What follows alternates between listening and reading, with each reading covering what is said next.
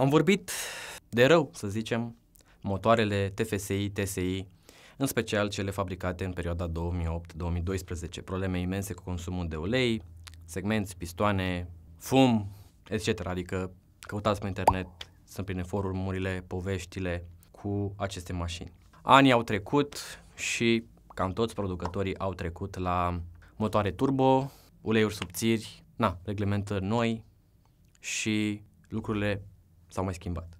Ideea este că mi-a venit mașina Audi Q3, 1.5 TFSI, 150 de cai, în 4 cilindri, are în jur de, nu mai țin minte, 240-250 de Nm, adică are cuplu cât are X3-ul, da, cuplu motor aspirat mare 6 cilindri versus cuplu motor mic 4 cilindri turbo, nu se compară de la plecare de pe loc, răspuns, accelerație, ce vreți voi, față de ăsta turbo care sub 2500 n-are cine să tragă, n-are cine să plece de pe loc, e, e mort.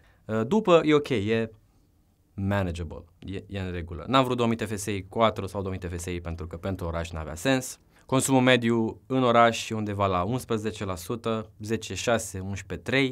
Extraurban am reușit să scot de la București până în Râmnicu Vâlcea 6,3%, deci decent pentru 1.5 benzină turbo automată crossover. Decent. Uh, ce am observat la mașină și despre asta vreau să comentez. Motorizările actuale, TFSI, TSI și nu doar la Audi, nu doar la Volkswagen.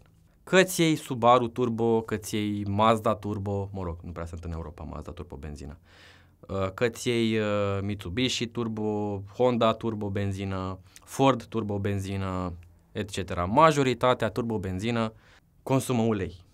Din trei motive. 1.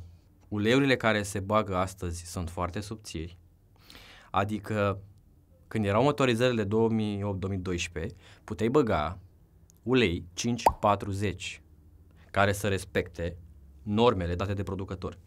E adevărat că majoritatea veneau din fabrică cu 530, pentru că producătorul întotdeauna va veni cu uleiul cel mai subțire tolerat de, de acel motor, pentru că ăla circulă cel mai repede, na, cu ăla se pornește. Pe măsură ce mașina se uzează, motorul se uzează, faci kilometri, dacă în carte ai și alte viscozități, ok, treci la una mai, mai groasă, mai, mai viscoasă. Dar uh, la, la, la motorizările noi, atât de stricte sunt uh, cerințele de proiectare, încât în general se merge pe un singur ulei. Deci pe multe, la multe, multe mașini o să vedeți, pe cam toate configuratoarele și manualul mașinii o să vă dea doar o singură viscozitate și subțire. În primul rând aș vrea să vă aduc la cunoștință faptul că pentru orice produs din gama 99 Vehicles nou, Insect Remover Gel, Tire Shiner Restorer, uh, Leather Protectant, Plastic Protectant, Upholstery Cleaner, Wheel Cleaner, primiți cadou un lichid de parbriz în valoare de 20 de lei, din care faceți 4 litri. Adică dai 39 de lei și primești două produse, unul de jante, unul lichid de parbriz și așa mai departe. Le regăsiți pe site și avem multe alte oferte noi. Deci uh, nu o să mai vezi tu și 5.30 și 5.40 și 10.40 la puteți să-l uitați la mașinile noi. Uh, mai sunt câteva mașini cu 10.60, gen Maserati Trofeo, ceva Treobi Turbo, ceva Ferrari, ceva, poate că ele au uh, uleiuri din alea science fiction pentru track. În rest, nu o să mai vezi 10 W40 sau 1030 exclus, nici măcar 540. Pe Chevrolet Camaro în state și pe alte mașini de performanță din state o să mai vezi un 040. Uh, VAG și BMW și probabil că și Mercedes, la Mercedes nu m-am uitat, dar probabil că și Mercedes astăzi merg pe diesel 030, benzină 030 sau 020. La fel și Subaru, la fel și Honda, la fel și foarte mulți alți, și uh, Suzuki și uh, Mazda merg cu 0W20, 0W30. Am spus și eu în foarte multe clipuri că uleiul 0 prelungește viața motorului, nu înțelegeam de ce nu-l recomandă producătorii, aparent de când sunt mai stricte cerințele tehnice, reglementările de mediu și mai departe, au trecut toți la 0W30, 0W20. Bun, revenind la discuția inițială. Motorizările mai noi și cele noi, adică noi nouțe, vor consuma ulei. 1. Uleiul este foarte subțire, deci am, mi-a venit mașina Audi 1.5 TFSI. Eu eram ferm convins că mașina mea vine cu ulei 0W30. Ulei care se bagă și în Lamborghini, și în RS-uri, și în S-uri, și în diesel, și nu știu ce. Surprise, motherfucker! Surprise! Am 0W20 Blue Oil. Este norma specială 508-509 care nu merge retroactiv, adică dacă ai 504-507 norma de ulei de la Volkswagen, te poți duce pe 5501 pompe Diuze, pe 5502, pe 500, pe 501, pe alea vechi. Că este un, un ulei upgradat care merge în spate retroactiv. Ei bine, 508-509, Blue Oil 0W20 este un ulei care merge exclusiv la motoarele cu 508 nu poți să te duci în spate. Și este 0W20. Bun. Deci, factorul numărul 1, consum de ulei. 1. Ulei foarte subțire. 0W20. 2. Motorul turbo uh, dezvoltă temperaturi mari față de un aspirat. Și atunci, temperatură mare plus ulei subțire egal consum de ulei. Și mai avem un factor, regimul long life. Regimul long life, 30.000 de kilometri, na, uleiul se va subția, se va degrada, va fi, nu, mai, nu va mai fi 0,20, va fi 0,10. Adică un 5,30 după 30 de mii ajunge 5,20. Se subțiază, se degradează, se distrug polimerii și după degradarea asta, după subțierea asta a viscozității, urmează topirea. Că de-aia sunt depunerile acelea incredibile în motor, negreala aia, smoala aia în motor. Aia sunt polimeri topiți, adică plastic topit, de la temperaturi înalte, uzură prelungită. Ca să eviți treaba asta, trebuie să schimbi uleiul cât mai des și pentru așa ceva să folosești eventual un flash. Adică să previi să ajungi acolo să folosești un flash, că dacă îl folosești când e în stadiul ăla, s-ar putea să înfunzi toate orificiile de ungere. Și se poate gripa motorul pentru că rămâne fără ungere. Ideal e să nu ajungi acolo. Așadar, ă, morala este că motorizările actuale de benzină turbo cu aceste uleiuri nu au cum să nu consume ulei.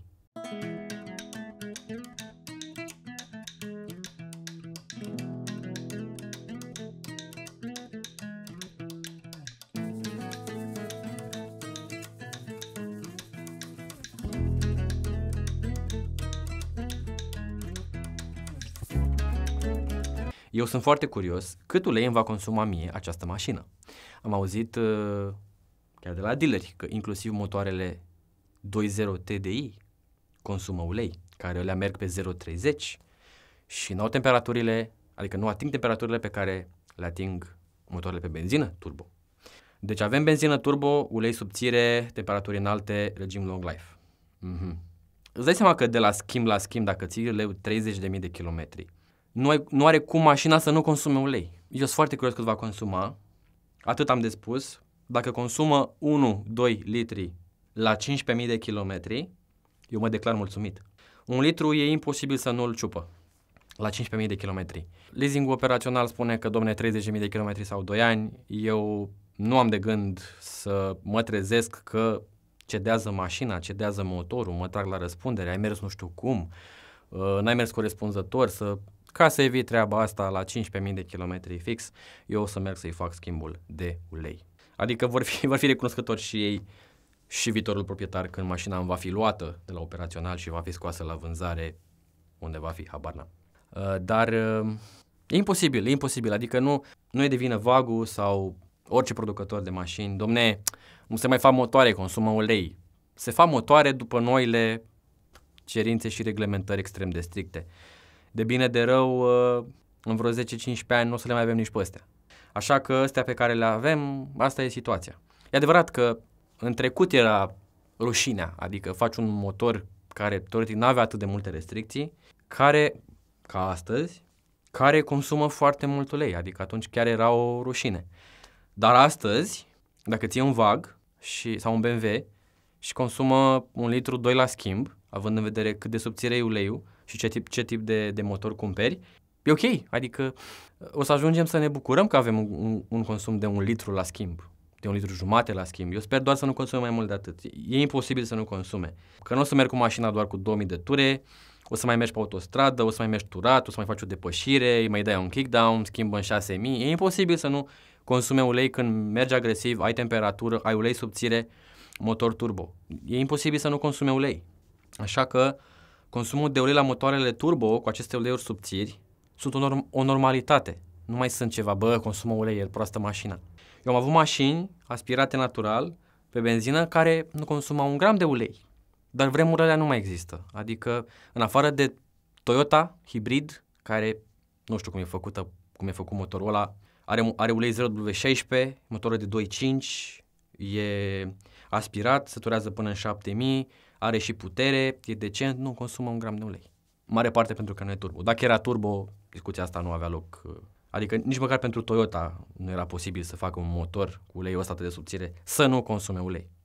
Uh, e o chestie tehnică, adică nu poți să te bați cu fizica. Asta e ingineria, asta e fizica, adică temperatură, ulei subțire, uzură, tu vrei să nu consume ulei. Nu se poate. Adică e o, e o știință. Mai cum. Așadar, sunt curios cât îmi va consuma ulei. Q3 1.5 TFSI, am fost conștient de la bun început. Mă așteptam să am 0.30, uite că am 0.20 și cu ocazia asta o să fac un review puțin mai târziu, după, nu știu, 5.000 de kilometri să vedem cum s-a comportat, dacă a consumat ulei, cum e nivelul, că o să verific nivelul și așa mai departe. Momentan are doar 200 de kilometri, 240 de kilometri pe bord și nu știu dacă o să fac atât de repede 5.000 de kilometri pentru că în mare parte va merge soția cu mașina și vom mai pleca cu ea în stânga, în dreapta, dar o să dureze până o să facem noi cu ea 5.000 de kilometri. Acestea fiind spuse, vreau să știu care sunt experiențele voastre cu consumul de ulei la motoarele turbo. Din păcate să știți că nu mai avem pe stoc, gata, s-a dus resurs care ajuta la restaurarea motorului, uzurii, consumului de ulei. Am vândut peste 10.000 de aditivi și nu mai putem să luăm pentru că erau fabricați în Rusia. Eu chiar cu câteva luni înainte să intre dânsi peste vecinii noștri, uh, luasem un stoc de câteva mii bune de aditivi și am vândut la ei până când i-am epuizat, mai avem, nu știu, 10 posturi. Adică până pun clipul ăsta e stocul epuizat, e zero. Și pentru înlocuitori, cine vrea în loc de resurs, avem Lichimoli uh, Motor Protect, Lichimoli Ceratec, Lichimoli Oil Treatment. Oil Treatment și Motor Protect au calități uh, și mai este uh, MOS2 uh, bisulfură de molibden tot de la Lichimoli. Componenta principală, pe lângă tehnologia resurs, componenta principală din uh, resurs era liquid MOS2, deci li, uh, bisulfură de molibden lichid. Substanța activă care se găsește și în aditivul de la Lichimoli, aditivi asemănători care reduc uzura, reduc consumul, reduc consumul de ulei, reduc zgomotul, prelungesc viața motorului, motor protect de la Lichimoli și oil treatment care este ceva mai accesibil. Ceratec-ul oferă multă protecție, uh, dar nu reduce consum de ulei sau alte probleme de genul ăsta. Deci doar motor protect și oil treatment au aceste proprietăți, dar oricum nu vor da rezultatele pe care le-a dat resurs. Deci, din păcate, noi nu mai putem importa legal, nu avem voie.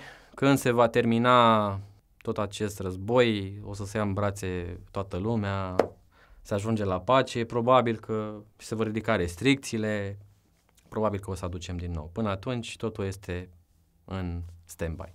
Da, aditivii au fost extraordinari, dar asta este situația, nu se mai pot aduce. Vă mulțumesc, ne vedem în următoarele episoade.